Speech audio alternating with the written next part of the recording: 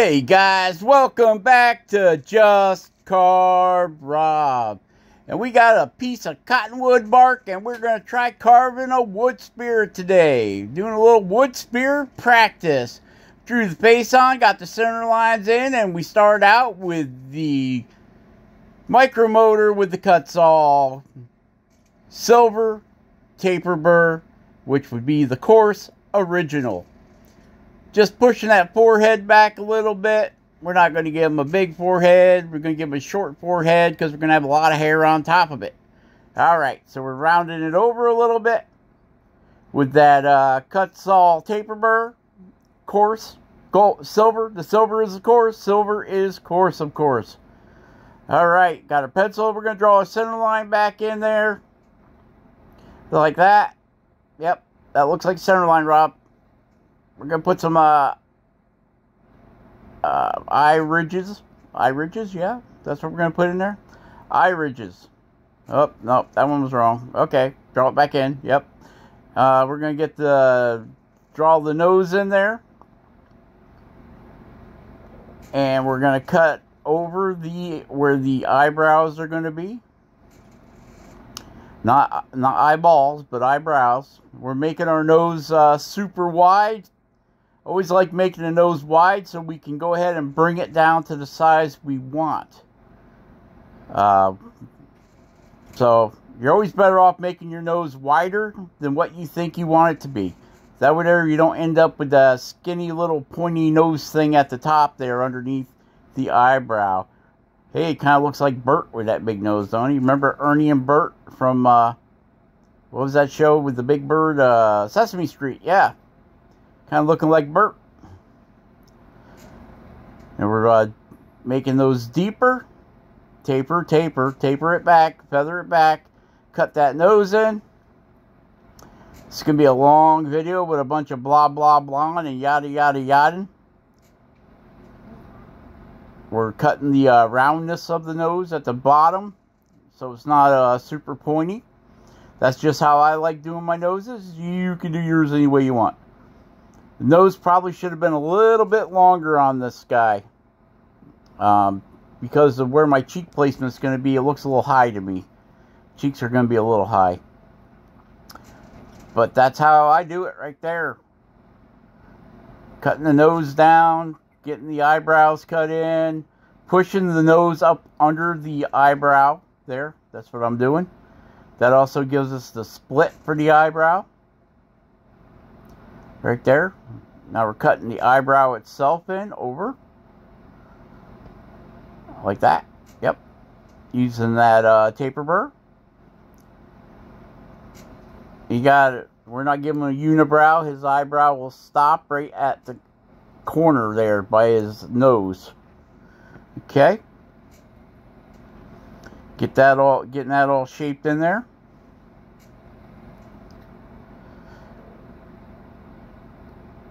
With that uh, Kutzall taper burr in the micromotor.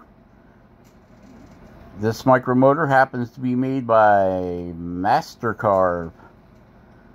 It's uh, the blue one. It's the uh, Pro 120, I believe it's called. Getting his uh, nostrils cut in there.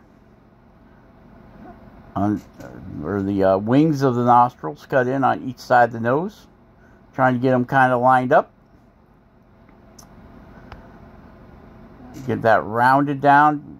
I always push back further. When I'm cutting that in, I'll push back further, lower than the nose, lower than the arch of the nose. See how the arch stopped right there? Well, I'll push that nostril back a little bit when I cut that little, uh, the flare in, the wing of the nose. Is it the wing of the nose? You ever see a nose fly?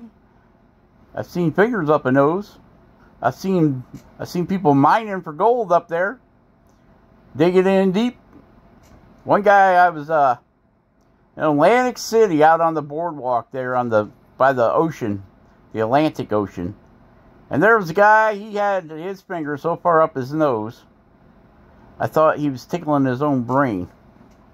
But then to find out, he only had half a finger, so it only looked that way. He was up to his knuckle in there, and I'm like, wow.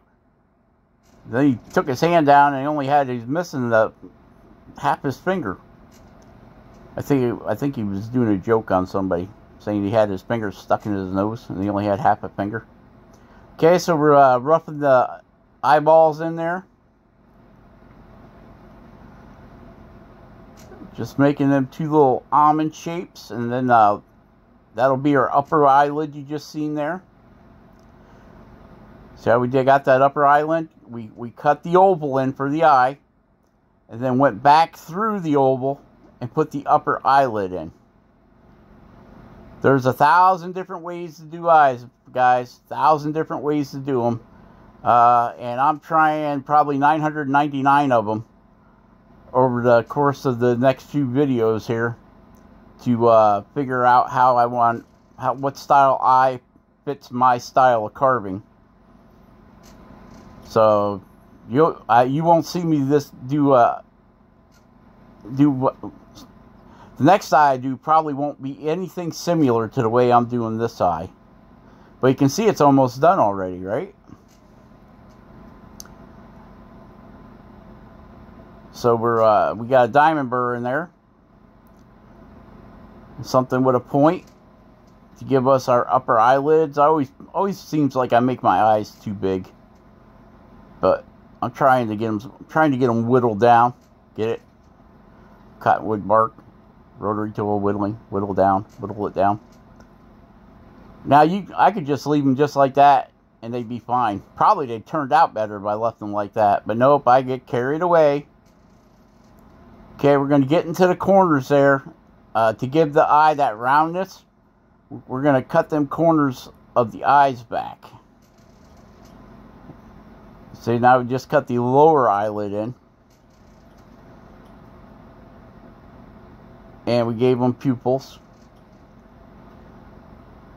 And we're always going to push each corner from left to right down to uh, give the eye that round shape. And we've got that diamond burr in there.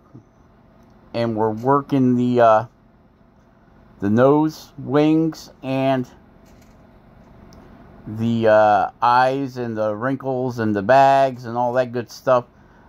Uh, most people won't do it this way. They will go back and do the mouth and everything, then come back and do the eyes. For me, the eyes are the whole carving. Uh, if the eyes don't come out good, I just prefer to stop and go back and do it again. So now we got the uh, coarse football burr in there. It's a coarse flame burr silver. We're going to use that to take down the uh, spot under the eyes. Right, yeah, under the nose. And right here, I should have dug in two lines on each side of the flare of the nose and made my cheeks. Uh, so I messed around and I think the cheeks came out a little too short. Uh, now that I see what I did, I can tell myself what I did wrong, right? hindsight's 2020. Or in this case, this guy, this guy's eyesight is probably 2020, right? And like Jordy said, there's no exact formula for a wood spirit. They're whatever you want to make them. So I'm making this guy goofy looking with short cheeks. Short cheeks. Take down a little bit of that top wood. That's where the hair is going to go. And get this uh, push that forehead back. See, I always start with a short forehead, and then I can always push it in deeper. If you start out with a long forehead or a tall forehead to start out with, uh, well, I guess you could still fix it. You can bring the hair down more to it, right? Now we're drawing in the mustache. You might as well, uh, while we're drawing, we'll give a shout out to Luann Tucker and to Gypsy Rose, Anna, Claire, Peggy Hicks, um, Jordy Johnson at Carving Fusion, Ben over at Studio on the Lake, Rock of Ages USA, Sean Brooks over at Pen on Fire and Wood Carving, Dan Carpio, C A R P I O. Dan's over there, he's carving the Seven Dwarfs. The Seven Dwarfs. I've carved the 20 gnomes, and he's carved he's carving the seven dwarfs. Yep. So you can see I'm cutting my cheeks in there. I should have left them right there, but nope. I kept messing with them, and I ended up driving. I think I drove them up too high, to be honest with you. But things you learn. It's all about learning. We learn together, right? Maybe by my mistakes. You can learn by my mistakes and make yours better.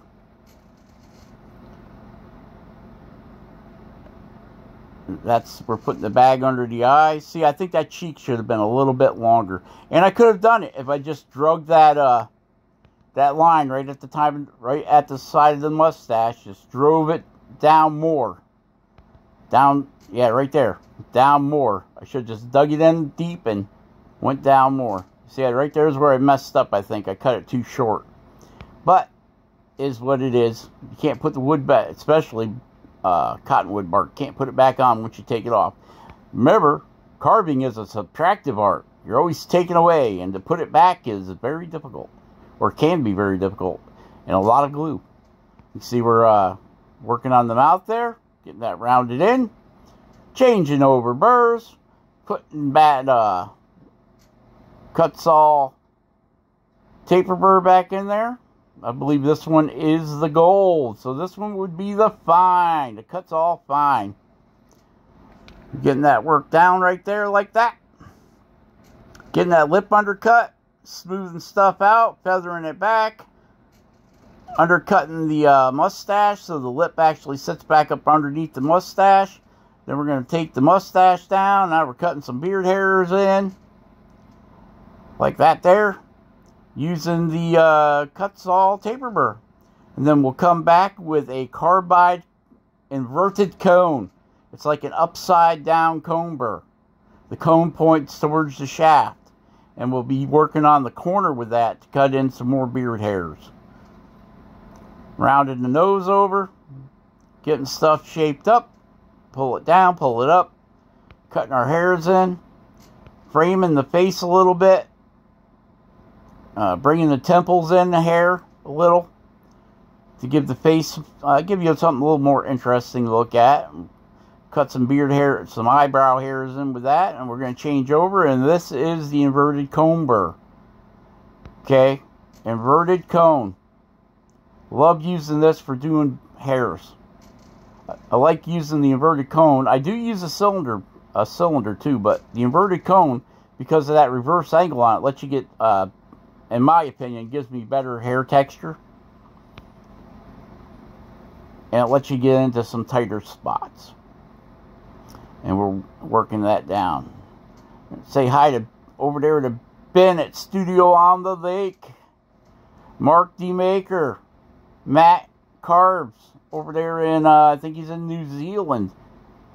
I can carve back over in Belfast, Ireland. Belfast, Ireland all my friends out there, all my subscribers, thank you for subscribing. I can't thank you guys enough for watching the videos. I uh, hope I don't bore you too awful bad. I know it, it can be pretty painful at sometimes just listen to me flap my lips. Yep, I don't even like it. And still just cutting more hair in. And that kind of stuff there. Changing out the burr again. Taking a look at them. Saying, hmm, looks like a wood spirit to me, I believe, I believe. Another burr in there. And back at it. And it looks like I decided to go back with the inverted cone burr. Hey, Glenn. Glenn McKelvey, how you doing up there in Quebec? Quebec, Canada.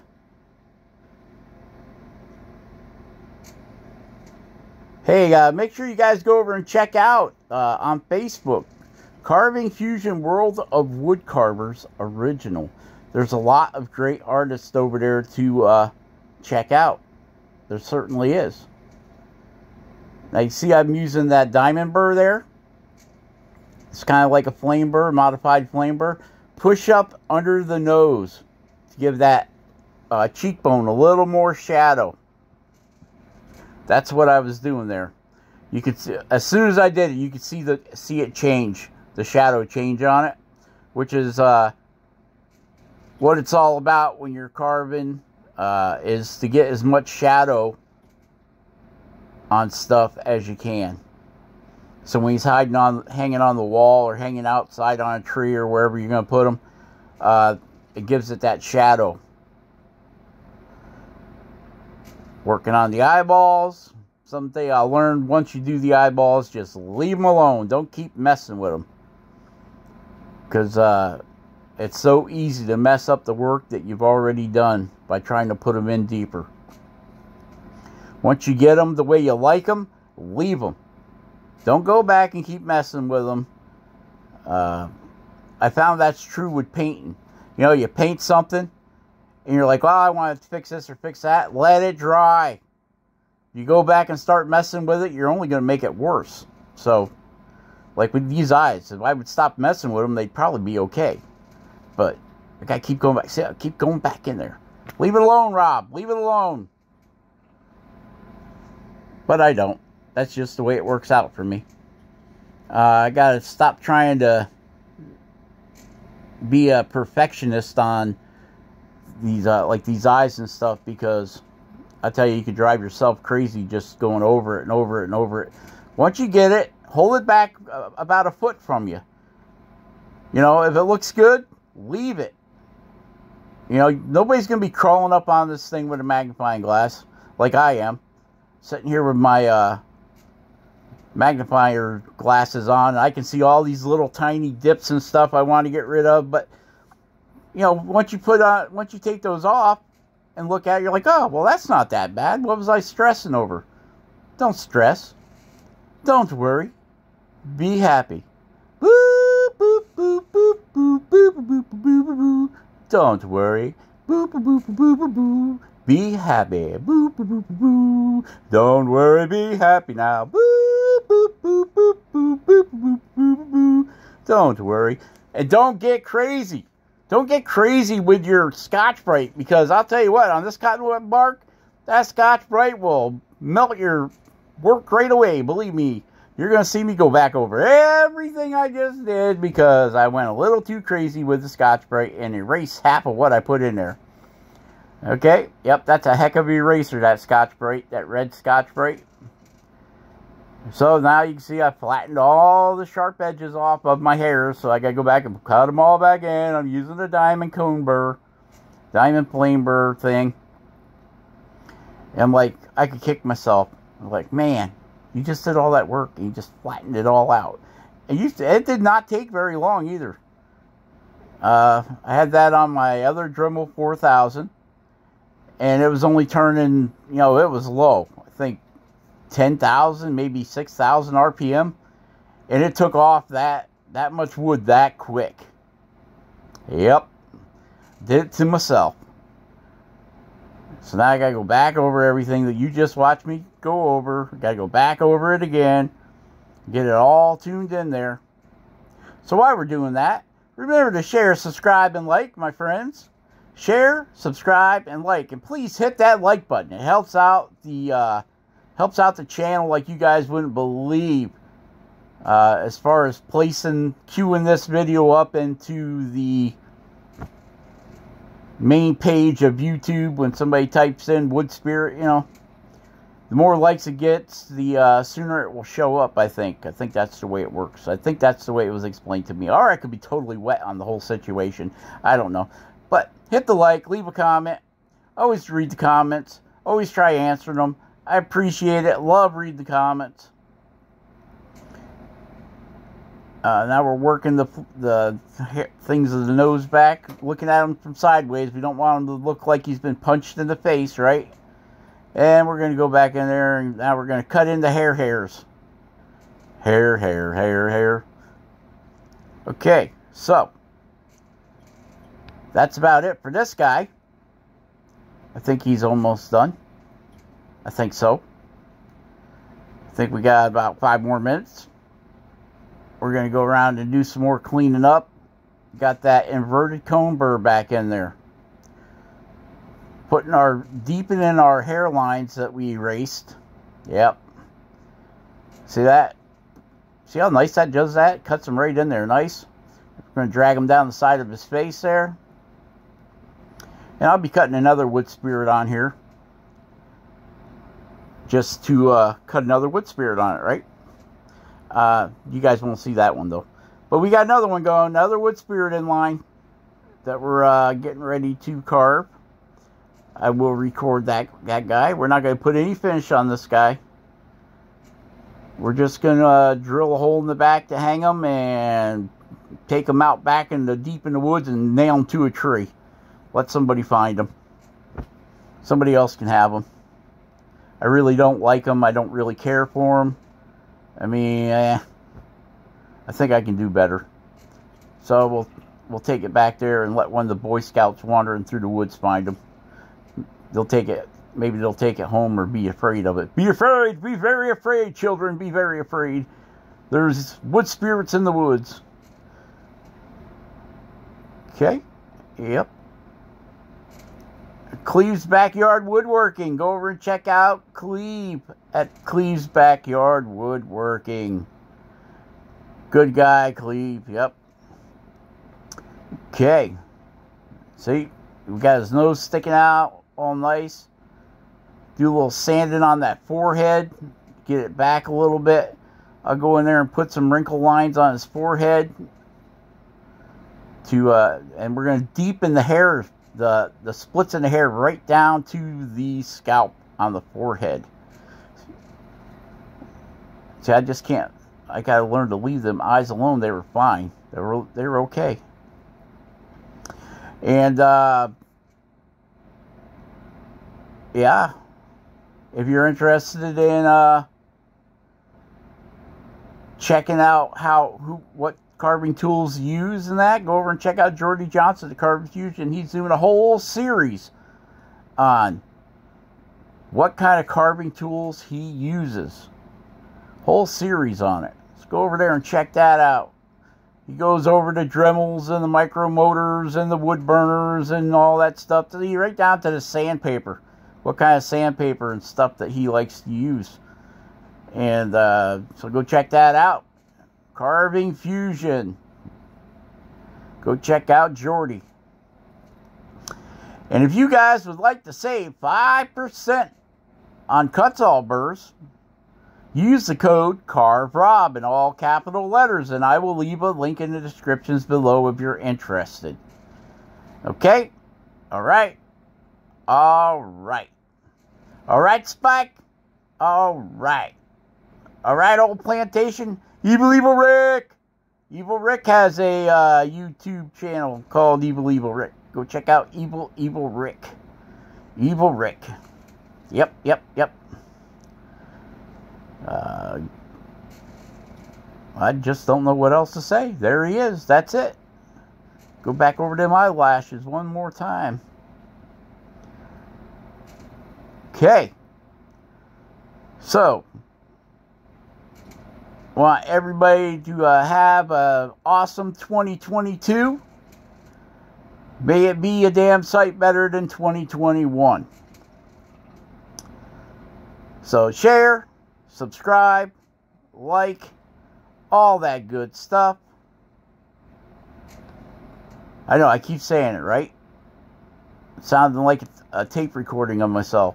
Share, subscribe, and like. Share, subscribe, and like. I bet you guys are getting tired of hearing me say share, subscribe, and like. But you know, they say once you hear something three times, you got to do it. So share, subscribe, and like. All right. We're winding her down here. We're getting the eyeballs done, and this guy will be done. And yes, I did sign it on the back. I did sign it.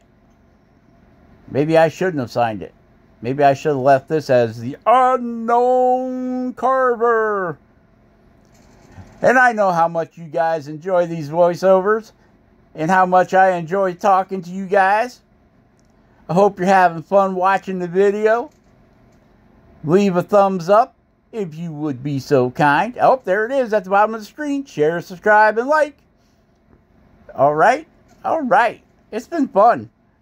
We've had fun, right? It's been fun. Okay. Yep. I think so. I think I'm done now. Bye bye.